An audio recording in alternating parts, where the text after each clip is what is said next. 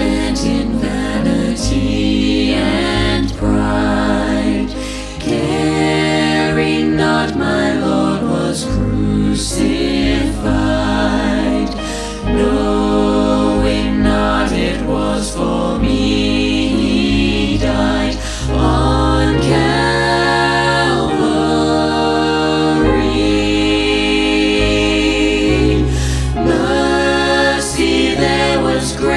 and grace.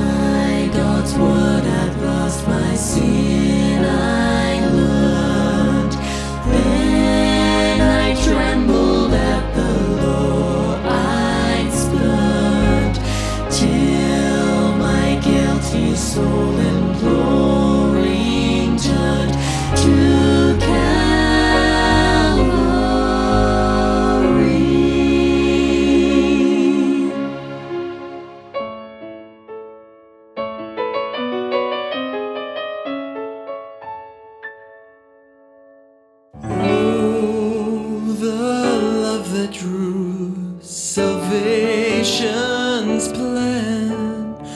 Oh, the grace that